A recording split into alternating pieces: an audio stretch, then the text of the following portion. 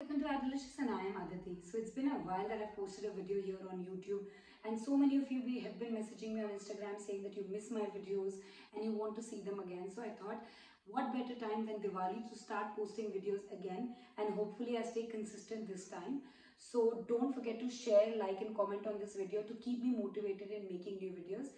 And this video is going to be a Diwali special where I'm going to be making these delicious chocolate. It's a dark chocolate shell filled with some saffron white chocolate ganache. It's going to be absolutely delicious. So I hope you enjoy this video. Don't forget to like, share and comment and let's get on with the video.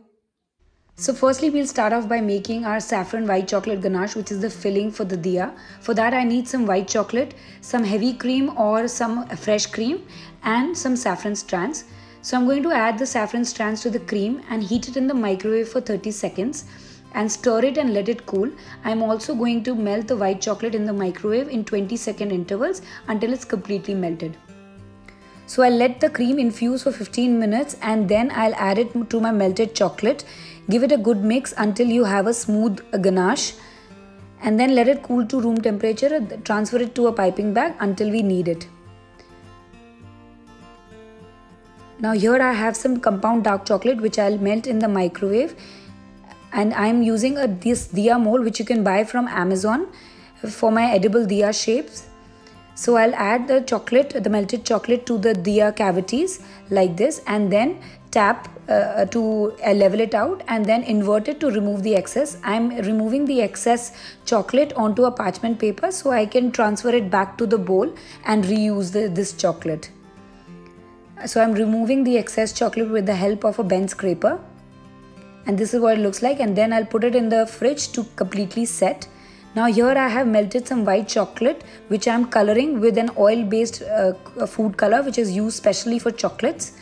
And I'm coloring this yellow and orange so that I can make the wick that goes in the diya. So I'm marbling the two colors and then again transfer it into a piping bag and then cut a small tip and fill this the uh, wick shape that is there in the mold. Tap it and let it set in the fridge until it's completely firm.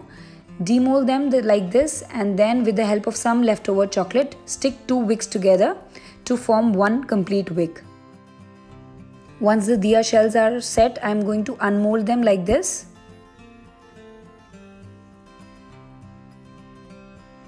Once they are unmolded, I am going to, uh, this is an optional step, I'm just going to dip them in some melted chocolate and then add some golden sprinkles around the edges. This is completely option, you can absolutely skip this.